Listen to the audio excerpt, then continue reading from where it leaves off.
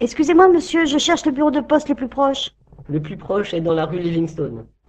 Et vous connaissez le chemin le plus facile pour y aller? C'est très facile à pied et puis c'est pas très loin. Vous voyez le carrefour là-bas? Continuez tout droit sur 500 mètres à peu près, puis tournez sur votre gauche et continuez jusqu'au prochain rond-point. Et après le rond-point? Eh bien, vous traversez le parc. Le bureau de poste se situe à trois pâtés de maison sur votre droite. Ça devrait vous prendre 15 minutes à vitesse normale.